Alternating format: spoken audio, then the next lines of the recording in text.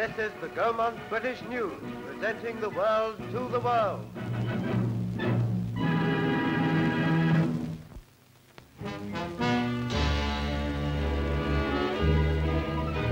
This is the story of the last days of the fighting in Syria between the Empire and Free French armies under General Wilson and the French troops under orders from Vichy. Bren carriers and infantry searched the ruins at Palmyra before this strategic point was taken over by our main body. Palmyra was formerly an outpost of the old Roman Empire.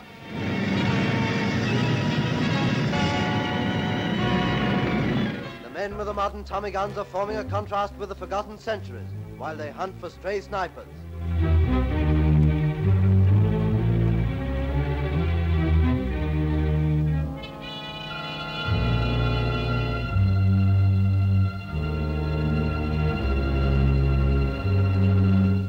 Can't have been pleasant to turn the artillery on our former allies, but circumstances forced our hand, so we did the job thoroughly. The aged general no longer lives at the Weygand fort. The white flag is hoisted and other tenants have moved in.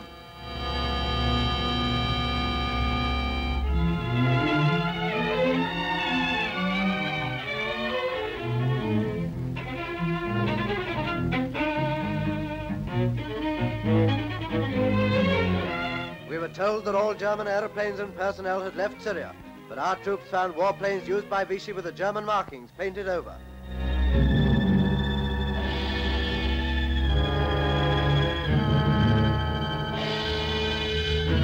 On taking over various parts of Syria, the Allies distributed flour and food to the inhabitants who had been living on short rations. And so, bit by bit, this land of immense strategic importance in the world's struggle for freedom came under British and Free French control.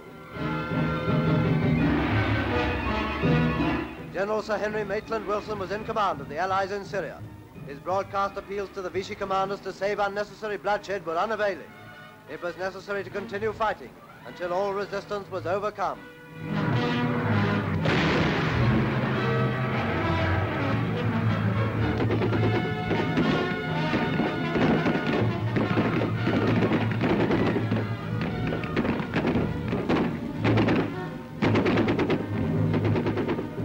Is one of the ironies of this strange war that we should have to fight Frenchmen to save them from their German masters.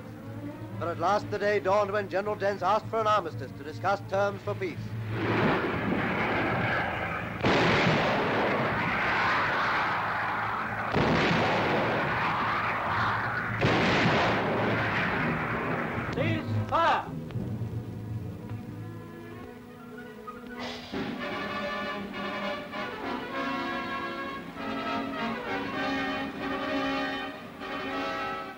So another stepping stone on our path to victory was reached at the Sidney Smith Barracks in Acre, where the negotiations were conducted.